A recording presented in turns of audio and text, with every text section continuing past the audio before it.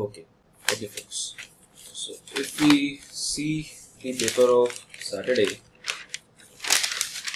first important news: chaos after firms get three months to get license for uh, laptop imports. Now this is a example of how you can get into this uh, license.com Raj, but apart from that, it's an example of bad governance, folks. Now, when we talk about if you see your paper number two, GS paper number two, you you have governance topic in it. Now, when you are preparing for governance, I mean, you are you are there are these these measures, there there are these elements of good governance.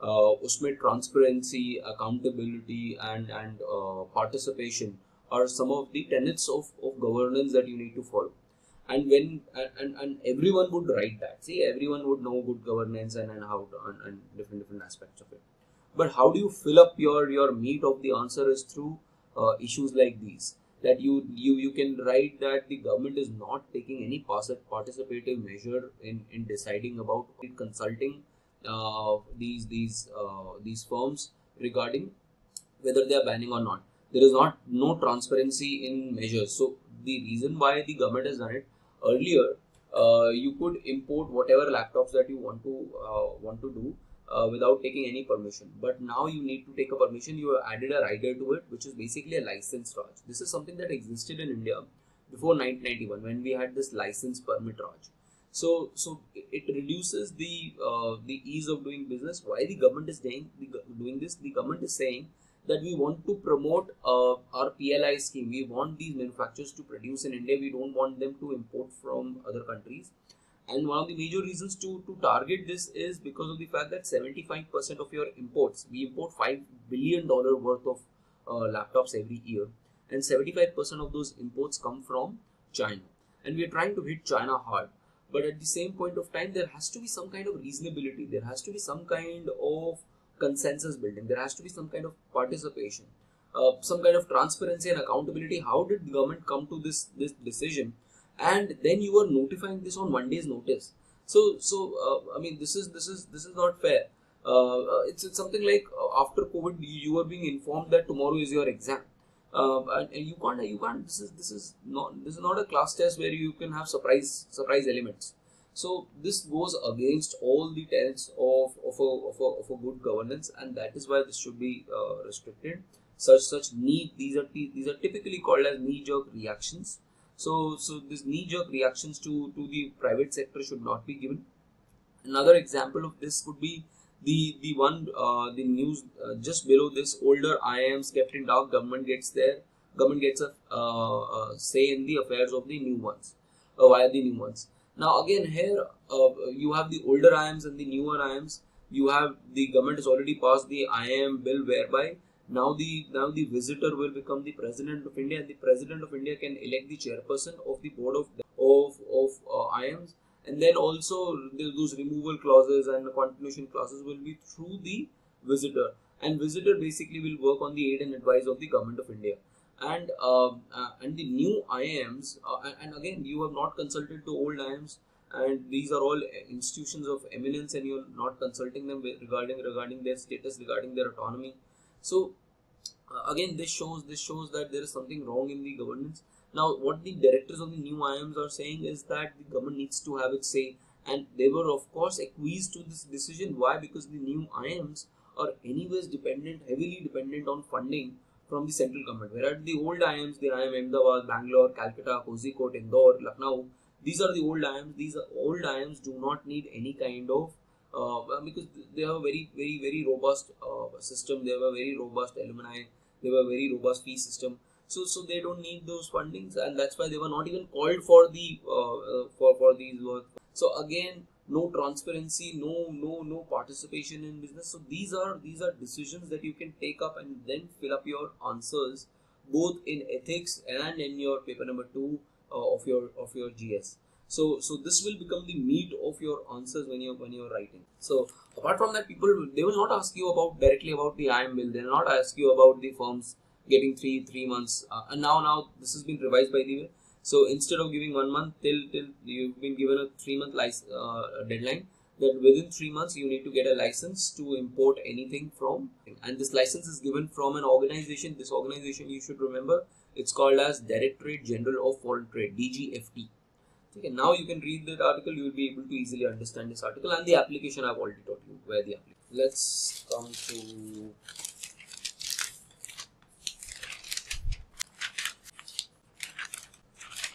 this news. There are a couple of news. Uh, you can read news which is below, but I'll I'll, I'll be covering this. Now, export ban pushes the global ri rice prices to nearly 12 year high.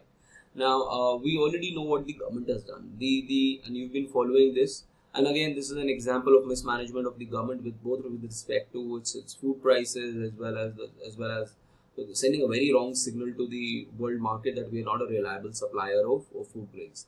Now, what has happened is that in India, uh, the food stock of rice with FCI on July 1st, uh, which, which is the cutoff date, is at a 5 year, 5 6 year low. And apart from that, the problem is that we, we already know that there are certain some areas of India which have which has received scanty rainfall. And we'll read this in, in, in uh, this thing as well. Overall, our rainfall is above above average LPA but there uh, there are regions of Telangana, there are regions of, of Maharashtra, there are regions of, of a little bit of eastern India where there, the rainfall has been a little deficit. And there are regions like Punjab where you have over over rain, I mean uh, excessive rainfall as well. Because of which, which is possible that the production of rice uh, might might be below uh, that which was last year. Now, because of this, uh, what the government has done is that it has banned the export of uh, except except for uh, basmati uh, except for basmati and non parboiled non parboiled rice the government has banned export of all rice now what this happened uh, and and earlier last year they had banned the export of wheat.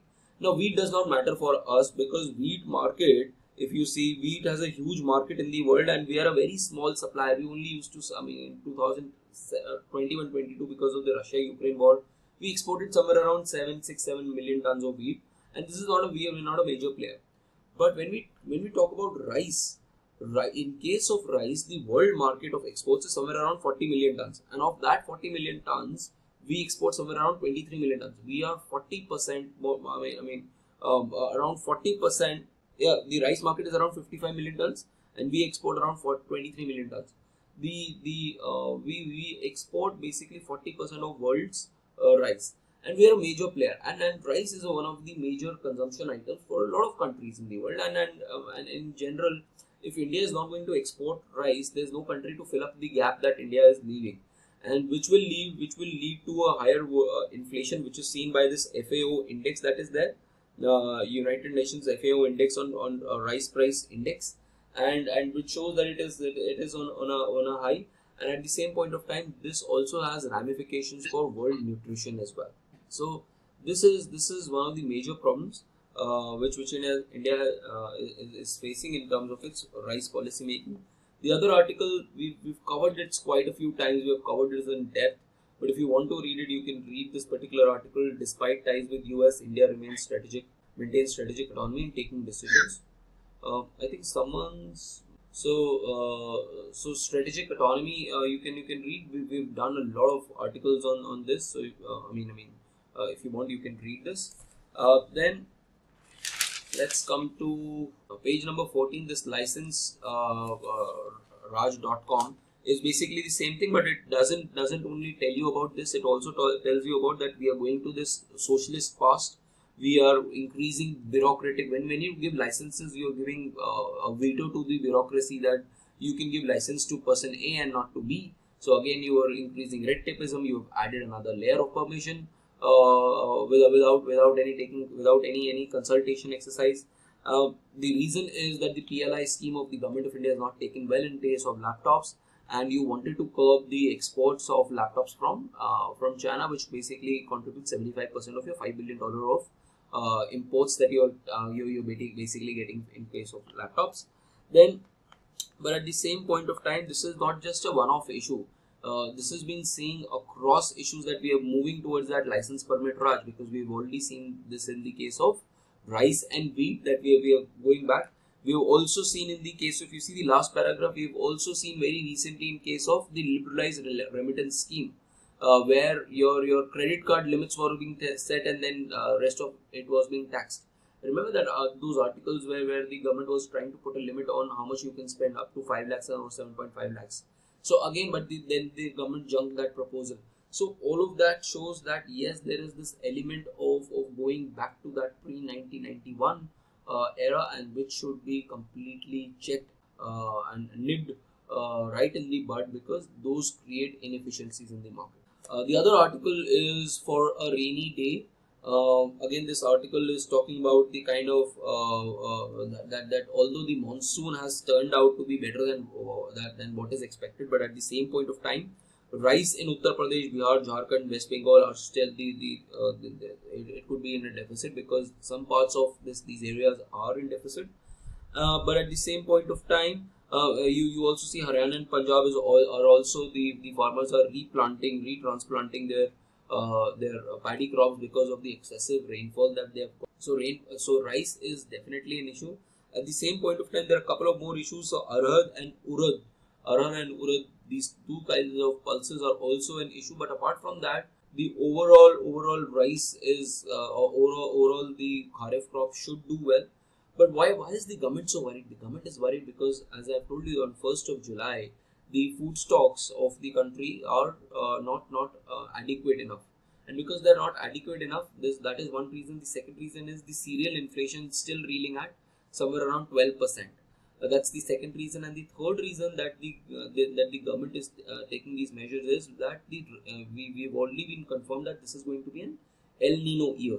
And because this is going to be an el nino year there's going to be an impact impact on the rabi crops as well because these rabi crop uh, crops also need moisture and uh, and, and certain uh, uh, heat and certain cold environment should not be too much excessive heat as well. So because of that we might expect that the rabi crop is might also get affected. So all and and you have the general elections coming in in, in april and may. So underlying with, because of these all underlying factors the government has decided uh, to to ban all these uh, commodities. So this is then the next article which which is an important article uh, for you to understand is uh, cheetah's return. So uh, this article is one of is by one of the uh, directors of uh, uh, of project cheetah. So i want you to read about this project cheetah. I want you to also read about if you're writing about this see this is this is one topic that i'm expecting in mains 2023 but also might be introduced in 2024 prelims or mains translocation of animals is a very difficult thing. Remember that those whispering uh, elephant that there was this elephants in Munnar that, that they were they were going on rampage uh, uh, after translocation. You can add that thing to it.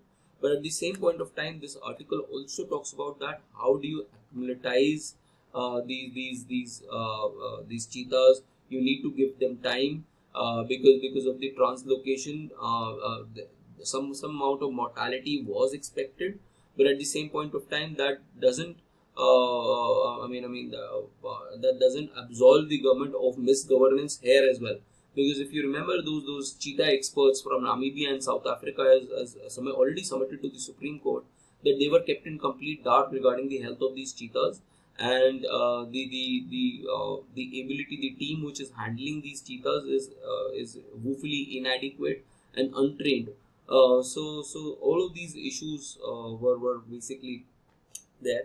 Now this article basically talks about the fact that uh, we've introduced these these cheetahs from namibia and and uh, actually if you if you see these are all ethiopian uh, fauna which have been colonized by in india through the persian through persian rulers in ancient times.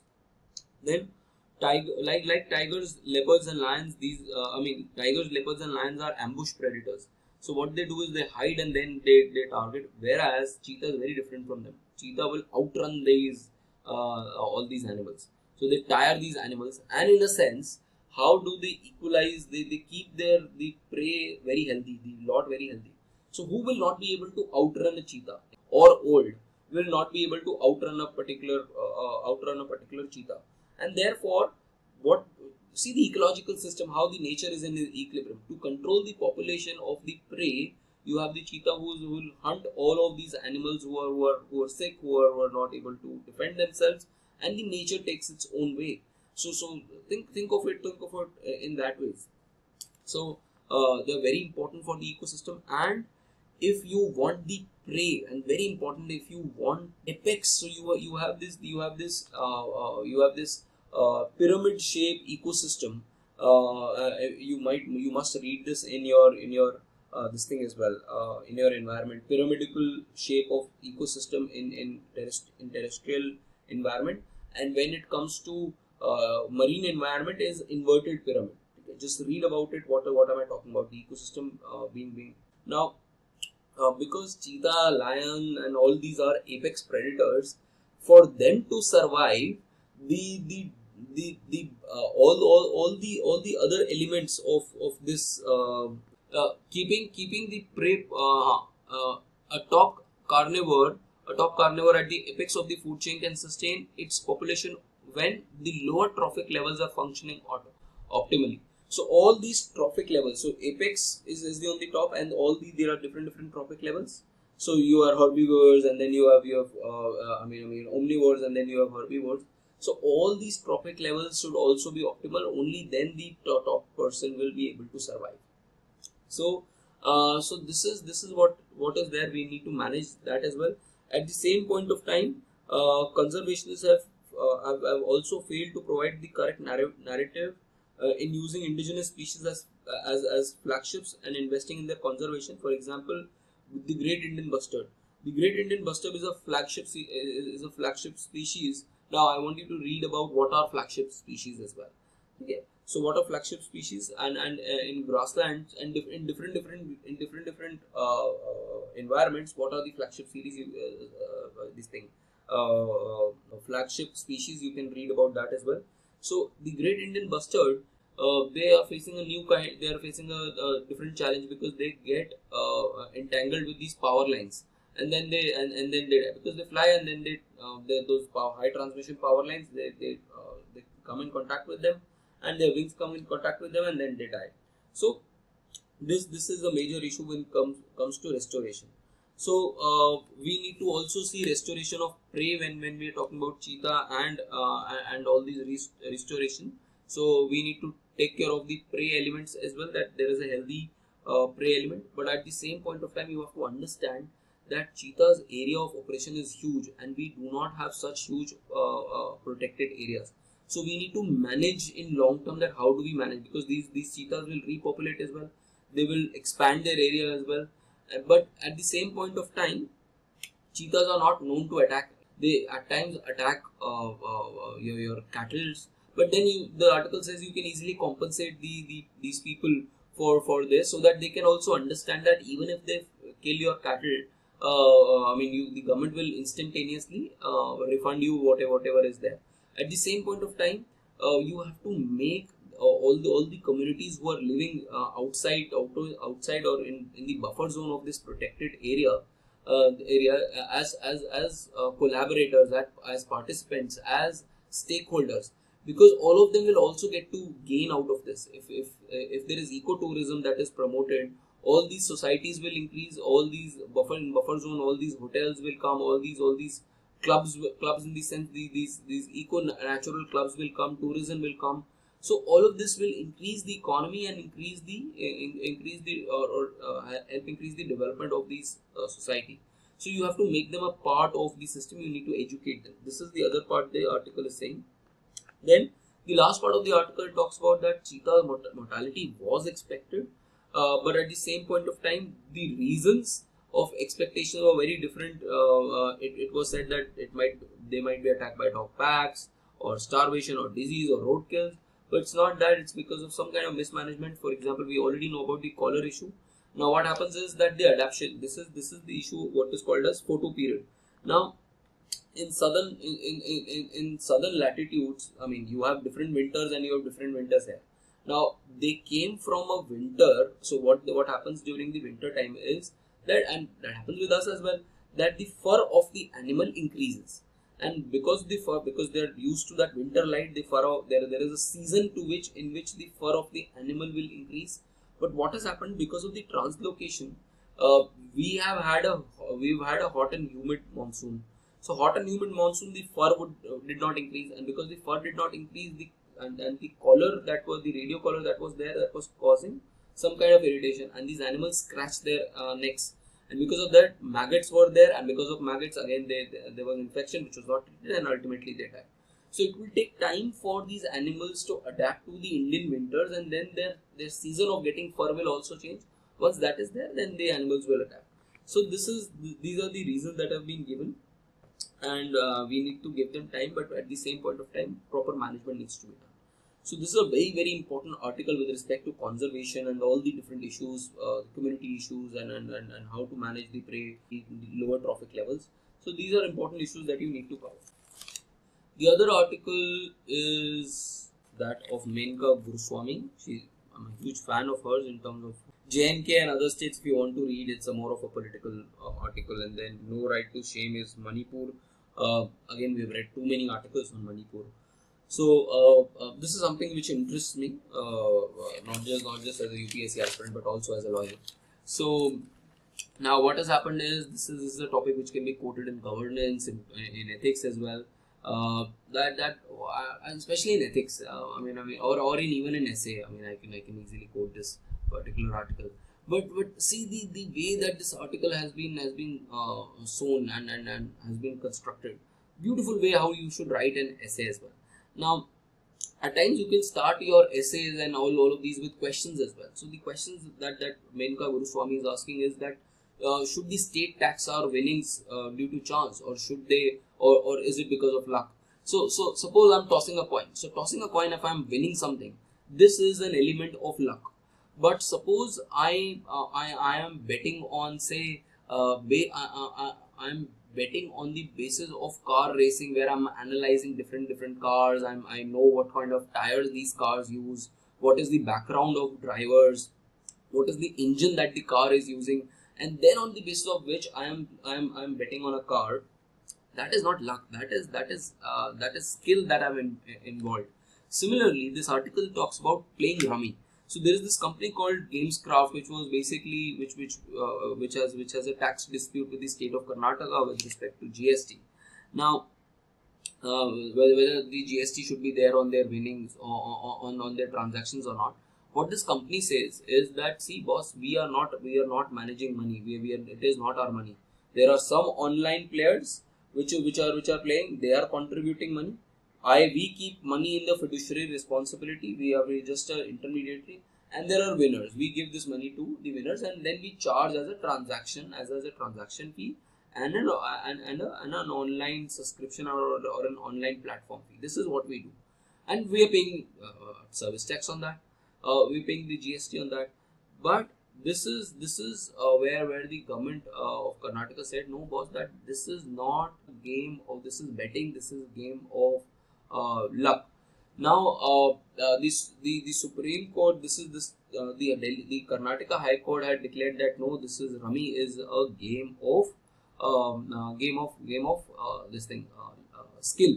That it's something like horse riding, riding. Horse riding also you need to know the horses you need to know the feline uh, the, the the kind of breed that is there and and how uh, uh, whether whether it will be able to run fast or not. So just like just like this Uh, i give you the example of of uh, car racing as well. Just like this rummy also involves memory tricks that which card was there and how to play. So so that because of that reason this can be not be classi- classified as betting or gambling.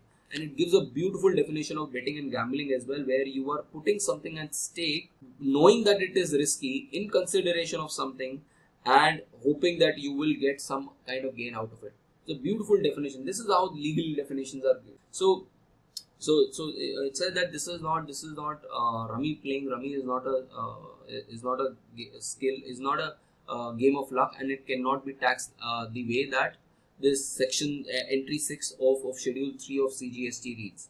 It is it cannot be covered like betting gambling and and lottery.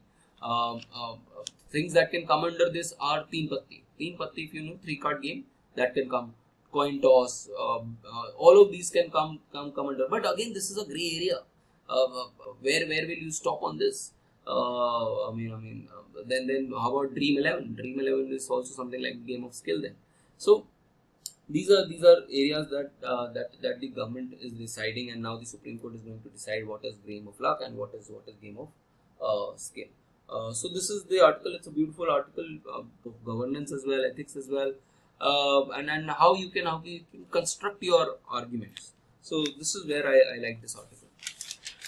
Then um, page number 17 if you want to read the uh, uh, the political news four years without 370 you can read it. Uh, peru uh, fossil find i found it interesting but not for upsc uh, then the article that i really find interesting was was and it's a very very important article folks i'm telling you time and again prepare summaries of these three acts whenever they come dpdp date, uh, digital uh, data uh, digital personal data protection act then you have the Digital India Act, and then you have the Telecom Bill Act. Telecom Bill Act has not been, uh, I mean, the other two bills will come, but these are the three bills that you need to be completely aware about with a critical analysis of them. Uh, uh, not just for this year. I mean, this year means, of course, yes, they. They, they might ask you directly on it. They might. Uh, they might ask indirectly on it. There might be application in multiple places but uh, but you should know about these uh, three things because uh, these these are important areas now this is also an example where the government has taken huge consultative this could also be an example of good governance where the government has taken a consultative exercise into um, into policy making where uh, all these parts of the society the civil society the technological companies the government uh, all of them have been consulted for the last 5 years for for iterating and reiterating uh, this particular bill. Now, but but the final bill, uh, the, the benchmark of the bill started with the GDPR, uh, which which is the regulation that is run in in European Union, which is one of the stringent ways of, of defining this thing, your your um, your your digital protection rights. Uh, but now we have moved more towards the China model. So if you, if you if you if you see if you draw a spectrum uh, uh, the spectrum started from uh, the most most liberal would be would be your your your US and you could you could have China as an authoritarian one and then you you have uh, European European which which basically gives a lot of power to its citizen. And now if you see where in this particular triangle, if you draw a triangle where India is moving towards, India is moving towards that China uh, route. So that is how you can draw this particular case. So if I was an aspirant and if I uh, if I would I would describe this uh, in this way, I would draw this triangle and then then I show. So now if you see uh, uh, the bill, uh, uh, the, the issues with the bill, issues with the bill, the criticism is that the Data Protection Authority of India basically will decide who to give exemptions and who not to give exemptions, and you have given a carte blanche to the government of India and its all its uh, uh, not and all its instrumentality of the state. Now, what does the instrumentality of the state means? You can define geo as instrumentality of state and give it complete uh, veto as well.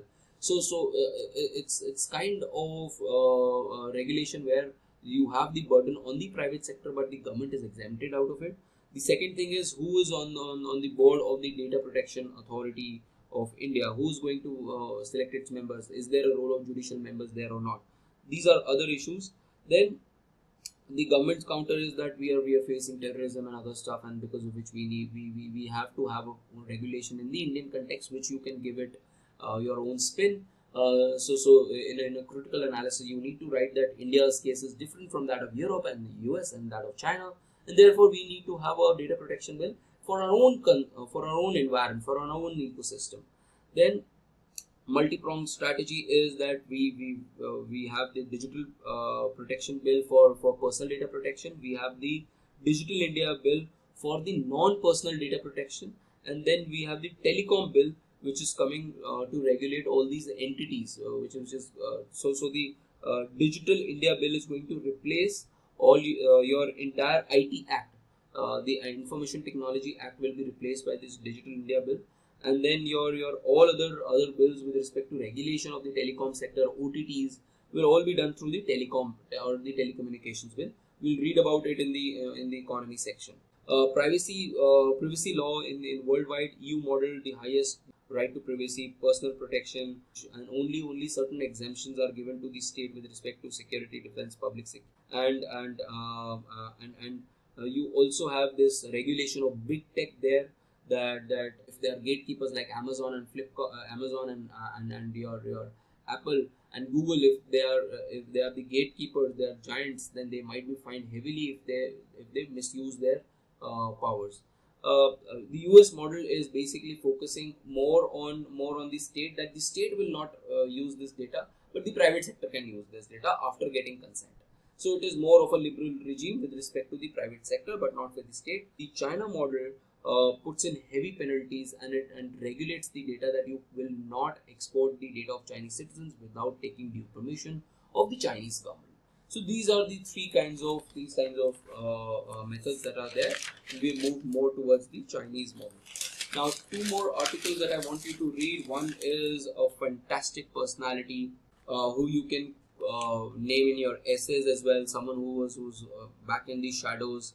Uh, an anecdote you can maybe write an anecdote on, on this in your essay as well. So things like these will, will give richness to your answers. Now this is about and, and people have not heard about him. Uh, in fact this is the first time i'm hearing about this person.